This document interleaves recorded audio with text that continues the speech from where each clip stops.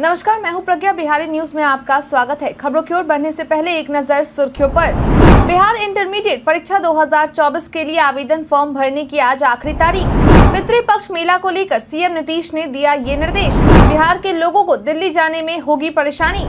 द्वितीय प्रारंभिक शिक्षक मूल्यांकन दक्षता परीक्षा का आवेदन नहीं किया तो होगी कार्रवाई। वर्ल्ड कप में टीम इंडिया को लेकर एबी डिविलियर्स ने की भविष्यवाणी। इसके साथ ही बढ़ते हैं शाम तक की बड़ी खबरों की ओर विस्तार से। बिहार इंटरमीडिएट परीक्षा 2024 के लिए आवेदन फॉर्म भरने की आज आखिरी तारीख। अगर आप भी उन छात्रों में से हैं जिन्होंने अब तक बिहार विद्यालय परीक्षा समिति द्वारा आयोजित की जाने वाली इंटरमीडिएट वार्षिक परीक्षा 2024 के लिए आवेदन फॉर्म नहीं भरा है तो यह खबर आपके लिए है। बता दें कि इस परीक्षा के लिए आवेदन फॉर्म भरने की आज अंतिम तारीख है। ऐसे में इस परीक्षा में शामिल होने वाले विद्यार्थियों को आवेदन करने के लिए बिहार बोर्ड की ऑफिशियल वेबसाइट www.seniorsecondarybiharboardonline.com पर जाकर आवेदन करना होगा। बता दें कि बोर्ड की ओर से इंटरमीडिएट वार्षिक परीक्षा 2024 में शामिल होने वाले विद्यार्थियों का मूल सूचीकरण प्रमाण पत्र भी बोर्ड की वेबसाइट पर अपलोड कर दिया गया है। मालूम हो कि परीक्षा में भाग लेने वाले छात्रों के लिए दो प्रकार के आवेदन फॉर्म को पोर्टल पर अपलोड किया गया है, जो कि दो खंडों में है। जिसमें से एक खंड में क्रमांक एक से सत्रह तक विद्यार्थियों के डिटेल्स पहले से भरे हुए हैं, जिसमें विद्यार्थियों के द्वारा कोई बदलाव नहीं करना है। तो वहीं खंड दो में 18 से 35 तक के विद्यार्थी के द्वारा डिटेल्स भरे जाएँगे। पितृपक्ष मेला को लेकर सीएम नीतीश ने दिया ये निर्देश। बीते दिन मुख्यमंत्री नीतीश कुमार गया पहुँचे, जहाँ उन्होंने पितृपक्ष से जुड़े विकास कार्यों का जायजा लेते हुए अधिकारियों के संग समीक्षा बैठक कर कई दिशा निर्देश दिए। उन्होंने कहा कि पितृपक्ष मेले के दौरान यहाँ आने वाले श्रद्धालुओं को किसी तरह की कोई परेशानी नहीं होनी चाहिए। उन्हें सभी तरह की सुविधा मिलनी चाहिए। इसके अलावा श्रद्धालुओं के लिए आवास की भी बेहतर व्यवस्था होनी चाहिए। उन्होंने कहा की घाट, मंदिर, वेदी, तालाब और पूरे शहर की साफ़ सफ़ाई की बेहतर व्यवस्था रखने तथा सुरक्षा को लेकर विशेष सतर्कता बरतने का निर्देश दिया गया है। सीएम नीतीश ने उम्मीद जताई है कि इस बार पितृपक्ष मेले में बड़ी संख्या में श्रद्धालु आ सकते हैं। उन्होंने बोधगया महाबोधि परिसर के पास स्थित मुचलिन सरोवर को विकसित और सुंदर बनाने का निर्देश दिया है। आपकी जानकारी के लिए बता दें कि इस वर्ष पितृपक्ष मेले का आयोजन 28 सितंबर 2023 से शुरू हो रहा है, जो कि 14 अक्टूबर 2023 तक चलेगा। गांधी जयंती के मौके पर राजधानी के गांधी मैदान में होगा हल्ला बोल। दो अक्टूबर को गांधी जयंती के मौके पर प्रदेश मुखिया संघ के नेतृत्व में बिहार की राजधानी पटना के ऐतिहासिक गांधी मैदान में बिहार के मुख्यमंत्री नीतीश कुमार और देश के प्रधानमंत्री नरेंद्र मोदी के खिलाफ महापंचायत का आयोजन किया जाने वाला है। बता दें कि प्रदेश मुखिया संघ की ओर से यह फैसला लिया गया है कि वह अपनी उन्नीस सूत्री मांगों पर आंदोलन तेज करेंगे।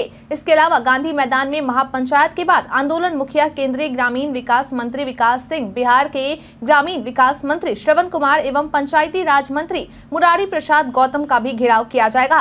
मालूम हो कि यह निर्णय प्रदेश मुखिया संघ की पटना के दरोगा राय पथ में हुई राज्य स्तरीय बैठक में लिया गया। मुखिया संघ के नेता के द्वारा बताया गया कि पूरे राज्य में पंचायती राज संस्थाओं के कामकाज ठप है, लेकिन इसके बावजूद भी सरकार हम पर ध्यान नहीं दे रही। आयोग ने शिक्षा विभाग को पत्र न लिखने की दी सलाह। राज्य के शिक्षकों को प्रमाण पत्र सत्यापन के कार्य में लगाने को लेकर बिहार सरकार के शिक्षा विभाग के अपर मुख्य सचिव के के पाठक के द्वारा बिहार लोक सेवा आयोग के खिलाफ आपत्ति जताई गई थी और कहा गया था कि शिक्षकों को इस कार्य से मुक्त किया जाए, जिसके बाद आयोग के चेयरमैन के द्वारा सोशल मीडिया पर बिना किसी का नाम लिए के के पाठक पर निशाना साधा गया था। वहीं अब बिहार लोक सेवा आयोग के सचिव रवि भूषण के द्वारा माध्यमिक शिक्षा निदेशक को एक पत्र लिखा गया है, जिसके माध्यम से आयोग की ओर से विभाग को यह हिदायत दी गई है की अभ्यर्थियों के दस्तावेजों का सत्यापन आयोग की आंतरिक प्रक्रिया है। आयोग, शिक्षा विभाग और राज्य सरकार के नियंत्रणाधीन नहीं है। अगर यह स्पष्ट न हो तो संविधान के प्रावधानों का अध्ययन कर ले, इसलिए भविष्य में इस तरह के पत्राचार की धृष्टता न करे। सचिव ने लिखा है की आश्चर्य है की शिक्षा विभाग को इन सब प्रावधानों का पता होने के बाद भी बिना प्रमाण पत्रों के सत्यापन के ही आयोग से अनुशंसा की अपेक्षा की जा रही है। अगले 24 घंटे में इन जिलों में होगी भारी बारिश। इन दिनों राज्य में वर्षा का सिलसिला जारी है। बीते दिन भी बिहार की राजधानी पटना व आसपास के इलाकों में सुबह से बादलों की आवाजाही बनी रही। वहीं शाम में कई इलाकों में बारिश भी हुई, जिससे कि तापमान में गिरावट आई और लोगों को गर्मी से काफ़ी राहत मिली है। बता दें कि मौसम विभाग के अनुसार आज पटना समेत राज्य के अन्य जिलों में हल्की वर्षा मेघ गर्जन व वज्रपात की संभावना जताई गई है। अगले चौबीस घंटे के दौरान बक्सर, भोजपुर, नालंदा, जहानाबाद, शेखपुरा, नवादा, भागलपुर, मुंगेर, पूर्वी चंपारण के एक या दो स्थानों पर भारी बारिश को लेकर अलर्ट जारी किया गया है। बता दें कि बीते 24 घंटों के दौरान राजधानी समेत दक्षिणी व उत्तरी भागों के अनेक स्थानों पर वर्षा होने से तापमान में भी गिरावट दर्ज की गई है। उत्तर बिहार में अगले कुछ दिनों तक आसमान में हल्के से मध्यम बादल छाए रह सकते हैं। बिहार बोर्ड कोचिंग में दाखिले के लिए परीक्षा इस दिन बिहार बोर्ड की ओर से शुरू किए जाने वाले इंजीनियरिंग व मेडिकल की तैयारी के लिए कोचिंग में नामांकन के लिए होने वाली परीक्षा का आयोजन 17 सितंबर 2023 को आयोजित किया जाएगा। बता दें कि पहले यह परीक्षा 10 सितंबर को आयोजित होने वाली थी, जिसे अब बढ़ाकर 17 सितंबर 2023 कर दिया गया है। वहीं इस परीक्षा के लिए प्रवेश पत्र बारह सितंबर को जारी किया जाएगा। ऐसे में संबंधित अभ्यर्थी बोर्ड की website coaching dot Bihar board online dot com जाकर अपना प्रवेश पत्र डाउनलोड कर सकते हैं। बता दें कि मैट्रिक परीक्षा 2023 में अच्छे अंक लाने वाले छात्रों को बिहार बोर्ड कोचिंग में दाखिले के लिए यह मौका दिया गया है। छात्रों के लिए यह गैर आवासीय कोचिंग होगा। बिहार के लोगों को दिल्ली जाने में होगी परेशानी। अगर आप भी इन तीन दिनों के अंदर दिल्ली जाने की सोच रहे हैं तो यह खबर आपके लिए है। बता दें कि इन तीन दिनों के दौरान बिहार से दिल्ली जाने वाले लोगों को थोड़ी परेशानी का सामना करना पड़ सकता है, क्योंकि नई दिल्ली में हो रही जी बीस समिट के कारण नई दिल्ली से प्रस्थान करने वाली ट्रेनों का परिचालन आनंद विहार अथवा गाजियाबाद से ही करने का निर्णय लिया गया है। बता दें की ग्यारह सितंबर तक राजेंद्र नगर टर्मिनल से प्रस्थान करने वाली एक दो तीन शून्य नौ राजेंद्र नगर तेजस राजधानी एक्सप्रेस को नई दिल्ली के बजाय गाजियाबाद तक ही ले जाया जाएगा। वहीं डिब्रूगढ़ से आने वाले एक, दो, चार, दो तीन गुवाहाटी राजधानी को भी गाजियाबाद तक ही लेकर जाया जाएगा और यहीं से वापसी भी होगी। राजेंद्र नगर टर्मिनल से नई दिल्ली जाने वाली एक, दो, तीन, नौ तीन संपूर्ण क्रांति एक्सप्रेस को आनंद विहार तक लेकर जाया जाएगा। इसके इसके अलावा नई दिल्ली, हावड़ा पूर्वा एक्सप्रेस, श्रमजीवी एक्सप्रेस व मगध एक्सप्रेस को भी आनंद विहार तक ही लेकर जाया जाएगा। दानापुर मंडल से गुजरने वाली सोलह ट्रेनें रद्द सिकंदराबाद मंडल के काजीपेट बल्हार शाह रेलखंड के स्टेशनों के बीच तीसरी रेल लाइन के हो रहे कार्यों को देखते हुए दानापुर मंडल से गुजरने वाली 16 ट्रेनों के परिचालन को रद्द कर दिया गया है, जिनमें गाड़ी संख्या शून्य तीन दो पाँच नौ या शून्य तीन दो छह शून्य Danapur S M V B Bengaluru special गाड़ी संख्या शून्य तीन दो चार सात और शून्य तीन दो चार आठ, Danapur S M V B Bengaluru special गाड़ी संख्या शून्य छह पाँच शून्य नौ, शून्य छह पाँच एक शून्य, बेंगलुरु, दानापुर स्पेशल। गाड़ी संख्या शून्य तीन दो पाँच एक और शून्य तीन दो पाँच दो। Danapur S M V Bengaluru special, गाड़ी संख्या शून्य तीन दो चार एक और शून्य तीन दो चार दो। Danapur S M V Bengaluru special, गाड़ी संख्या शून्य सात चार एक नौ और शून्य सात चार दो शून्य। सिकंदराबाद दानापुर स्पेशल, गाड़ी संख्या शून्य सात दो पाँच पाँच और शून्य तीन दो पाँच तीन। हैदराबाद पटना स्पेशल और गाड़ी संख्या शून्य पाँच दो सात एक और शून्य पाँच दो सात दो। मुजफ्फरपुर यशवंतपुर स्पेशल ट्रेन शामिल है। द्वितीय प्रारंभिक शिक्षक मूल्यांकन दक्षता परीक्षा का आवेदन नहीं किया तो होगी कार्रवाई। राज्य शिक्षा शोध एवं प्रशिक्षण परिषद यानी कि एस e के द्वारा राज्य के सभी जिलों के जिला शिक्षा कार्यालय को पत्र लिखकर यह जानकारी दे दी गई है कि द्वितीय प्रारंभिक शिक्षक मूल्यांकन दक्षता परीक्षा 2023 का आवेदन नहीं करने वाले शिक्षकों पर कार्रवाई की जाएगी और साथ ही ऐसे शिक्षकों से स्पष्टीकरण भी मांगा जाएगा। बता दें कि एस e के अनुसार द्वितीय दक्षता परीक्षा में तीन हज़ार शिक्षकों को परीक्षा में शामिल होना है। इसके लिए आवेदन की तिथि नौ सितंबर तक है, लेकिन अब तक मात्र चार सौ शिक्षकों के द्वारा ही फॉर्म भरा गया है। ऐसे में अब एस e के द्वारा आवेदन की तिथि को बढ़ाकर 12 सितंबर तक कर दिया गया है। ऐसे में जिला शिक्षा कार्यालय में अब 14 सितंबर तक ऑनलाइन सत्यापन करके आवेदन को एस e को भेजेगा। आपकी जानकारी के लिए बता दें कि प्रथम प्रारंभिक शिक्षक दक्षता परीक्षा जून में हुई थी, जिसमें कई शिक्षक आवेदन नहीं कर पाए थे, जिसके बाद शिक्षकों ने दोबारा परीक्षा देने के लिए मौके की मांग की थी, जिसको देखते हुए उन्हें दूसरा मौका दिया गया है। सीएम नीतीश कुमार जी बीस डिनर में शामिल होने के लिए पहुँचे दिल्ली। आज सुबह 10:45 बजे बिहार के मुख्यमंत्री नीतीश कुमार जी बीस मीटिंग में शामिल होने के लिए दिल्ली के लिए रवाना हुए। वहीं वह रात्रि में राष्ट्रपति द्रौपदी मुर्मू के आमंत्रण पर जी बीस के रात्रि भोज में भी शिरकत करेंगे। बता दें कि सीएम नीतीश के साथ दिल्ली जाने वालों में मंत्री संजय झा भी उनके साथ मौजूद रहे। बता दें कि आज जी बीस की रात्रि भोज में सीएम नीतीश कुमार की भेंट प्रधानमंत्री नरेंद्र मोदी से भी हो सकती है। इस मौके पर जी बीस देशों के राष्ट्राध्यक्ष और अन्य विदेशी मेहमान भी शिरकत करेंगे। आपकी जानकारी के लिए बता दें कि इस रात्रि भोज का आयोजन भारत मंडपम में किया जा रहा। मालूम हो कि मीडिया में चल रही खबरों के अनुसार सीएम नीतीश आज रात 11 बजे तक पटना लौट आएँगे। जगदानंद के खिलाफ इस कारण दर्ज हुआ मुकदमा। बिहार की सत्तारूढ़ पार्टी, राजद के बिहार प्रदेश अध्यक्ष जगदानंद प्रसाद सिंह के खिलाफ, उनके द्वारा सनातन धर्म को लेकर दिए गए विवादित बयान को लेकर नालंदा ज़िले के मुख्यालय बिहार शरीफ के मथुरिया मोहल्ला निवासी वीरेश पांडे द्वारा मुख्य न्यायिक दंडाधिकारी के न्यायालय में उनके खिलाफ परिवाद दायर करवाया गया है, जिस पर सुनवाई करने की तारीख ग्यारह अक्टूबर को निर्धारित की गई है। आपकी जानकारी के लिए बता दें कि जगदानंद प्रसाद सिंह के द्वारा सनातन धर्म को लेकर विवादित बयान देते हुए कहा गया था कि टीका लगाने वाले लोगों के कारण देश गुलाम हुआ है। इसके साथ ही कई अन्य बातें भी कही, जिसे सुनकर सनातन धर्म मानने वाले लोगों के बीच हलचल मच गई और इसका विरोध किया जाना शुरू हो गया।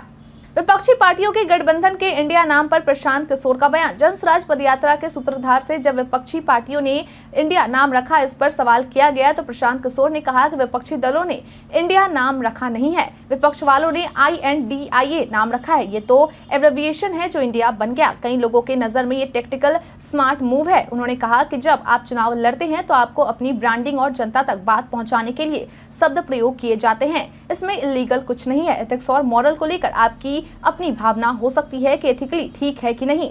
नाम उन्होंने जो रखा हो, वो स्ट्रेटेजिकली स्मार्ट मूव है कि अपने आप को इंडिया बता देना, अपने अलायंस को इंडिया बता देना या बताने की कोशिश करना। किसी की जीत हार नहीं होती है। देश की जनता इससे ज़्यादा समझदार है। अगर इंडिया के नैरेटिव में इंडिया के लीडरशिप में इंडिया अलायंस के कार्यकलाप में जनता का विश्वास होगा तो वो मत देंगे, तभी मत मिलेगा। उन्होंने कहा कि आपके कार्य को देखकर ही आपकी पहचान बनेगी। सिर्फ़ नाम बदलने से कुछ नहीं होगा। सुशील कुमार मोदी ने शिक्षा विभाग को लेकर सीएम नीतीश को लिया आड़े हाथों।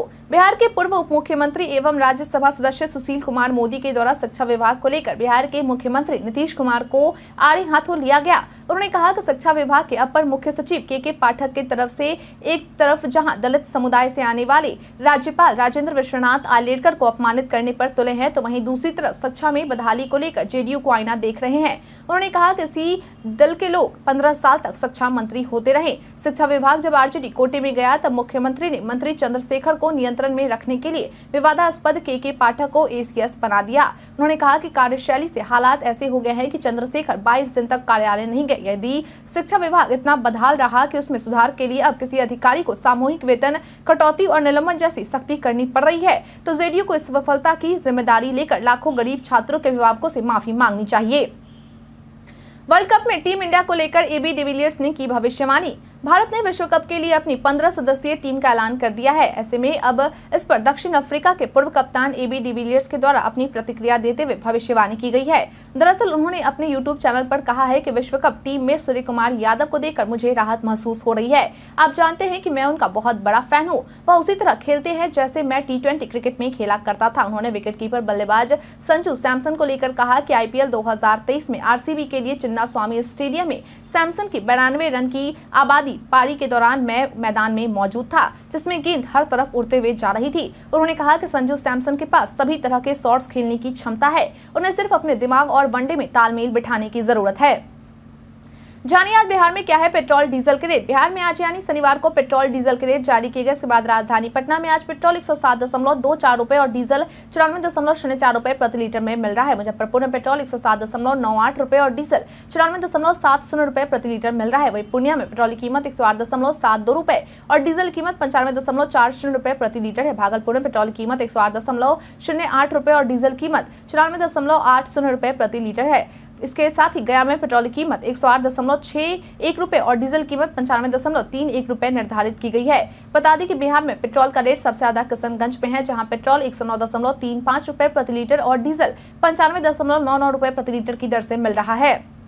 बीते दिन हमारे द्वारा पूछे गए सवाल का आप लोगों में से बहुत लोगों ने अपना जवाब हमें हमारे कमेंट सेक्शन बॉक्स में लिख कर दिया है, जिन्होंने हमारे द्वारा पूछे गए सवाल का जवाब दिया है। उनके नाम है बाबूलाल मरांडी, गोनर शर्मा, रंजीत मिश्रा, मोहम्मद फहीम, उमेश ऋषदेव नंदन कुमार, गोनर शर्मा, कपिल देव शाह, राजकिशोर महतो, धनंजय कुमार, रंगीला भान प्रकाश रवि किशन कुमार नुनु गोलू कुमार, अनवर करीम खान, अर्जुन राम, मोहम्मद सकीर हुसैन, ओम शंकर। इसके साथ ही बढ़ते हैं आज के सवाल की और आज का सवाल है। आपके अनुसार विपक्षी पार्टियों के गठबंधन के इंडिया नाम से उन्हें 2024 लोकसभा चुनाव में कितना फ़ायदा मिलेगा? आप अपना जवाब हमें हमारे कमेंट सेक्शन में लिखकर ज़रूर बताएँ। आज के लिए इतना ही। बिहार के तमाम खबरों के साथ बने रहने के लिए देखते रहें बिहारी न्यूज़। और साथ ही अगर आप यूट्यूब से देख रहे चैनल को सब्सक्राइब करना और अगर आप फेसबुक से देख रहे तो पेज को फॉलो करना न भूले। धन्यवाद।